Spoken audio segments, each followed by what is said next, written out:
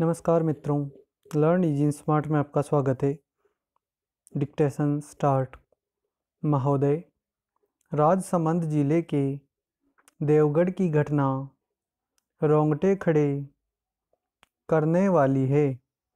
उस पर पेश इस इस्तगासे पर अदालत ने यह कहते हुए प्रसंज्ञान लेने से इनकार कर दिया कि राज्य सरकार की ओर से पारित अध्यादेश के बाद मामले की सुनवाई नहीं की जा सकती। यहाँ तक कि पुलिस अधीक्षक तक ने उसे बेरंग लौटा दिया।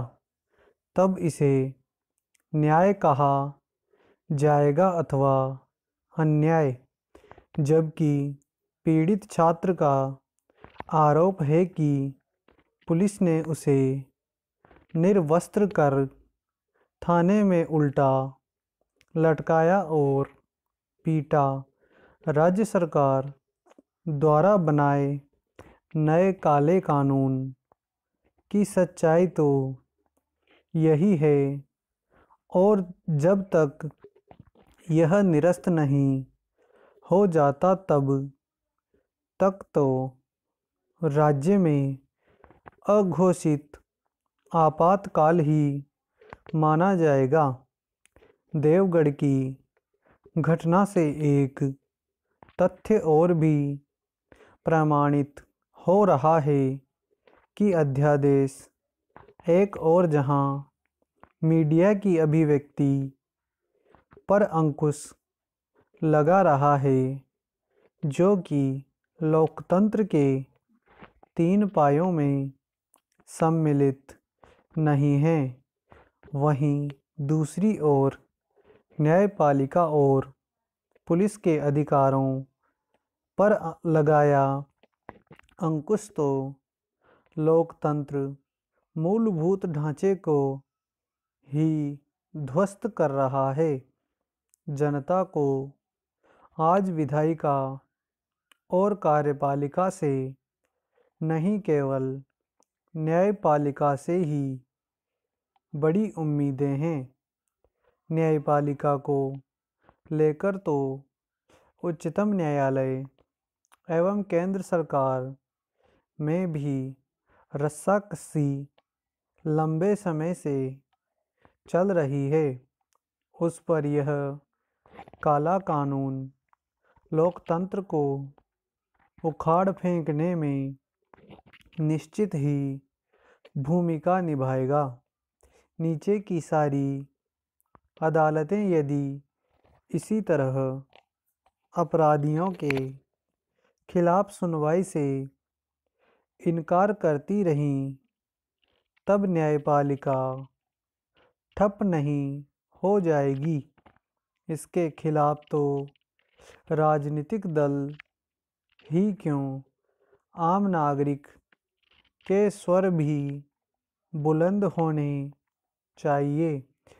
इस तरह के सरकार के फैसलों पर न्यायालयों को भी यथाशीघ्र निर्णय करने चाहिए ताकि समाज में कराहट का वातावरण न बने। देवगढ़ की घटना सामने आने से पहले मंगलवार को राजस्थान हाई कोर्ट की खंडपीठ ने काला कानून के मामले में राज्य सरकार को 4 दिसंबर तक का समय दिया है, जबकि कानून स्वतः ही 4 दिसंबर को निष्प्रभावी हो जाएगा। कानून का मसौदा, पढ़ें तो साफ़ लिखा है कि बिना सरकार की स्वीकृति के न्यायालय भी इस्तगासा मंजूर नहीं कर सकती और पुलिस भी केस न्यायालय में नहीं रख सकती। क्या इसमें न्यायालय के संविधान प्रदत्त अधिकारों का हनन नहीं होता।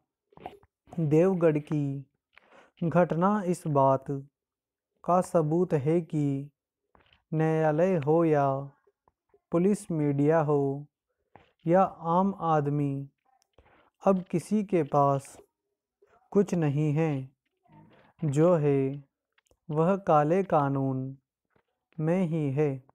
यह नहीं है कि 4 दिसंबर को काला कानून स्वतः समाप्त हो जाएगा, किंतु यह गारंटी तब भी कहाँ है कि सरकार इस अध्यादेश की पुनरावृत्ति नहीं करेगी। बिहार में जब प्रेस बिल लाया गया था, तब बार बार उसकी पुनरावृत्ति हुई थी। तब डीपी वाधवा ने उच्चतम न्यायालय के सामने मुद्दे को उठाया था कि बार बार अध्यादेश के ज़रिए इस कानून को लाने पर रोक लगाई जाए। हमें आशा करनी चाहिए कि 5 दिसंबर को विस्तार से सुनवाई के दौरान माननीय न्यायाधीश सरकार को अध्यादेश की पुनरावृत्ति न करने के लिए पाबंद भी करेंगे।